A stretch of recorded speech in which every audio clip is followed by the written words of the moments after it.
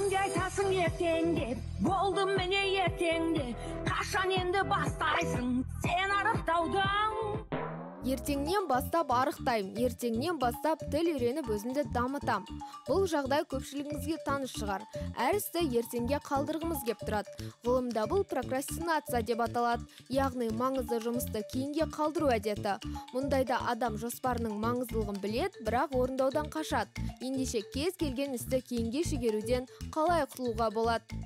Прокрастинацияның негізінде үш түрі бар. Ол шешім қабылдау. А, бірінші ол, ол кезде сіз бір шешімді қабылдай алмайсыз. Неге? Толық шешімнің сізде барлығы қолыңызда бола тұра сіз ертеңге қалдырасыз. Екінші түрі ол ә, невротикалық дейді неврозоподобный дейді. Ол кезде сізде бір навязчивый бір ойлар пайда болады. А мүлдем дұрыс емес шығар. Өмірі бір ә, қабылдаған шешіміңізге берілген нұсқауға сізде бір ылғи бір күмән туып тұрады.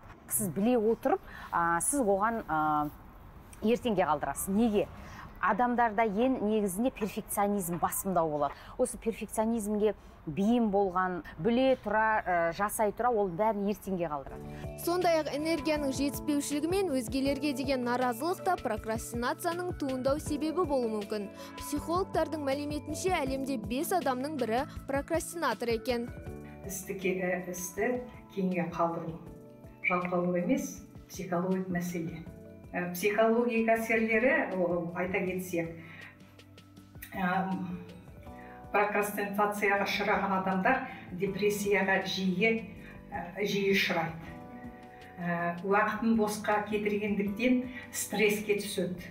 Өзін өзі төмен ұстап негативтік адамға айналуы ықтимал. Осыған әдеттенген адам тапсырманы ертеңге ысырып уақыт жақындағанда шала орындайды. Сәйкесінше жанындағы адамдардың тарапынан жиі наразылыққа тап болады. Психологтардың айтуынша аталмыш синдромнан арылудың нақты әдістері бар. Психологиядағы помодоро әдісімен 25 минут дамылсыз жұмыс істеп 5 минут демалу керек. Сонда фокус бір іске ауып аз уақыт ішінде көп жұмыс тындыруға болады.